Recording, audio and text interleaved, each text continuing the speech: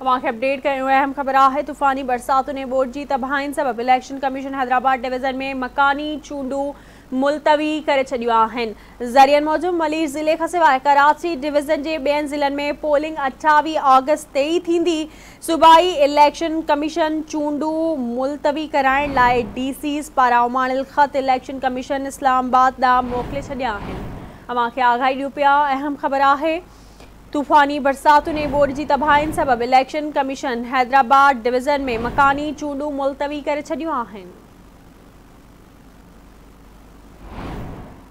तफ़सील मालूम कंदासीं कराची मां राजा असगर सुमरो खां जी राजा अपडेट कजो कहिड़ा तफ़सील आहिनि बिल्कुलु इलेक्शन कमीशन पारां हैदराबाद डिवीज़न में मकानी चूंडियूं जेको आहे मुलतवी करण जो इम्कानु ज़ाहिरु कयो वियो आहे ज़रिए ज़रियनि मूजिबि मां बरसात जी तबाही सबब इलेक्शन मुलतवी कर जी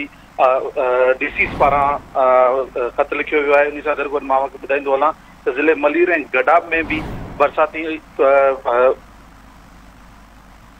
महिरबानी राजा अपडेट करण